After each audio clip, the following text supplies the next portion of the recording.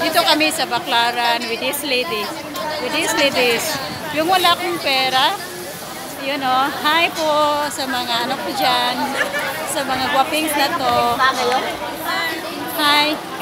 Oy, ano ba yan sa bunutan?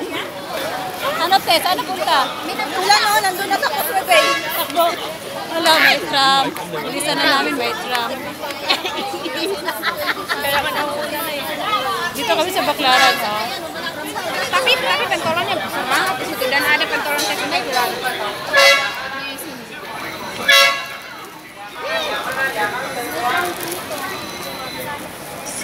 May brown din ito, pero mas maganda yung pink. Maganda nga tayo.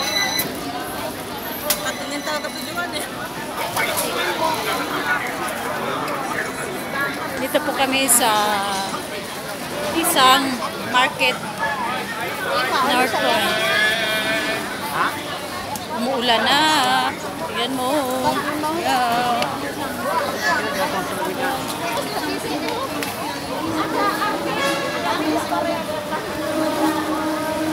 Dito po ako.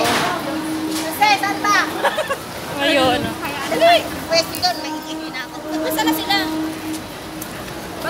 Hindi pa yan uulan. Nasaan na si ate? Ayun o. Sa Uy, nandiyan na ulan. Hello! Hello! May payong kayo? Yes, mayroon akong payong. Ayan. Saan ba? Saan ba sila? Doon din parang bagsak nila. Baho yun eh. Saan ba tayo? Saan ba sila? Kulay kayo dyan. Dito ako nagmamarket. Dito po. Everyday. Everyday. Saan ba Dito sila? kami nagma-market. Everyday. Saan ba sila? Tayo lang ba? Saan si RC? Yung dalawa naligaw. We. Ayan. Hindi nila alam na ayun. Kulay mo. Hindi nila alam Hindi nila ang anong...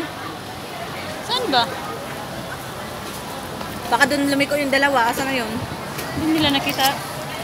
Ayun sila. Oh.